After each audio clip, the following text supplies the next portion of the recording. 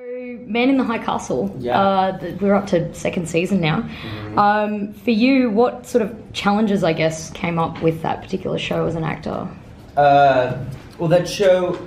Well, to start initially, I uh, when, you, when you get a part on a, a television show, there's a bunch of auditions, um, and I haven't auditioned in twelve years. I, I don't do it anymore because I not because I think I'm awesome, because I'm terrible at it.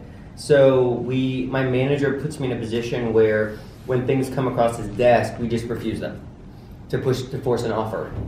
And on that job, it was a mistake because all these actors had gone through like seven auditions and mix and match and all these tests. And I get there and don't realize how big the scope of the world is, uh, and I panicked.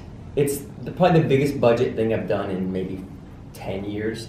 And uh, I arrived the first day, and there's like 300 people in period costumes in downtown Seattle where we shot the pilot. We shoot the show in Vancouver. Um, and uh, all this Nazi iconography on the side of buildings. I'm like, what the fuck have I signed on to? And then I started realizing like the producer of the show is Philip K. Dick's daughter, the guy that wrote the book. And it's a lot of responsibility. So I start panicking. And my first scene, it was pretty rough. There was a lot of things that, like German words that I hadn't thought of. Uh, and I, so I wasn't prepared.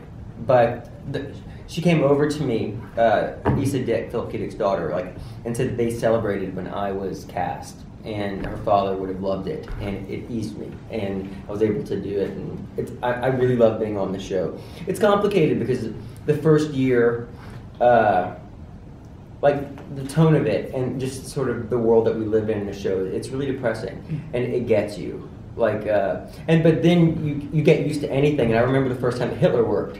And our names not our character names not our actual names are on our trailer doors so i'm like smoking a cigarette walking to makeup i'm like oh hitler's here today. Took a picture of it and post and so we're so used to that that sort of like iconography and that and the idea of the world that we live in. It's our job. Uh, to last year at san diego comic-con uh, the show did this pop-up experience where we had to all go and uh, like tour around. It's like virtual. We had all our sets there. It was a virtual reality thing where you could walk around our world. And so they're like, go there in your off time and uh, and take some photos. So we were on our way to the t- to the uh, IMDb yacht, and we were drunk out of our fucking minds. And because that's what you do in Comic Con, you have like 12 hours of press in the day, and then at night you get wasted. And it's like, you know, also it's like a reunion. You see people like I see Jared Jensen from Supernatural, people that I don't see all the time, people that I've known for, you know, uh, my, the entire entirety of my career, including uh, what's his name? Who's the little short guys in Austin Powers? Uh, Verne Troy. Verne Troy. No, no, no, the, the taller short guy. That's right. Seth Green. Seth Green. he hates me for some reason, and he's always hated me my whole career. I think because he's best friends with Breckin Meyer, and Breckin somehow thought that I stole his thunder and Road Trip, which is my first film. I was like such an innocent kid, so happy to be in Hollywood. I couldn't believe it.